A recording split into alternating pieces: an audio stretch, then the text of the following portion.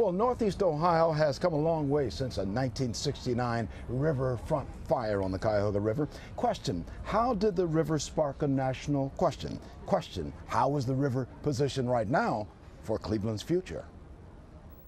The day began routinely, high temperature 73 degrees, Sunday, June 22, 1969. Dissecting Cleveland, the Cuyahoga River was making its inevitable push toward Lake Erie, slow moving water, but that day much more was in the river flow, which would thrust Cleveland into a horrible spotlight. Heavy pollution had spewed from the industrial valley into the river's flow. Overhead was a train crossing a trestle spanning the river. The industry spewed oil slick was larger than a football field. The sparks dropping from the locomotive ignited the slick and created a fire. Cleveland firefighters were called. When they arrived, it was then accelerating up onto the trestle and caught the trestle afire. At the Western Reserve Fire Museum, Paul Nelson shows the fire battalion's chief log of the incident. A witness to the fire was former WKYC Channel 3 news reporter Joe Mossbrook, who covered the fire. Mossbrook knew of many fires over the years, but on this day, there was some damage to the trestle. It wasn't destroyed by any means. It was uh, just a small fire. But the small fire led to a big event. 50 years later, the Cleveland firefighter boat used that 1969 day is operational. Joe remembers the next day when Mayor Carl Stokes complained about a polluted Cuyahoga River. The mayor wanted to know what the state was doing about regulating the plants that were spewing their bad stuff into the river. Several weeks later, a national news magazine published the story, but used photographs from earlier, bigger blazes. Cleveland was called a disaster.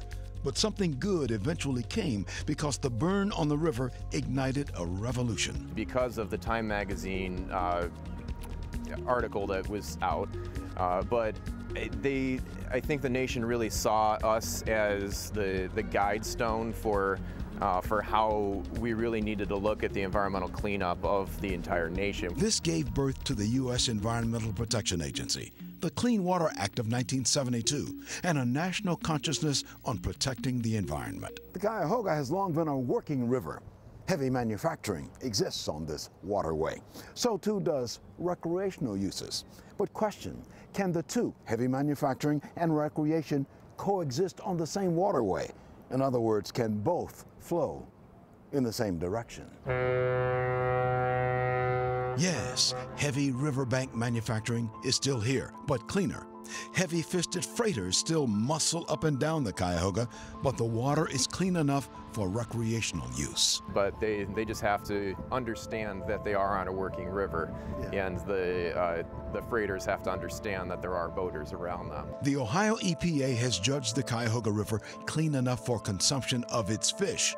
50 years after the river burn, Cleveland commemorates the fire. No celebration of the fire, but remembrance of the spark it gave to a national environmental movement which grew out of the day Cleveland's Cuyahoga River caught fire. Leon Bibb, Channel 3 News.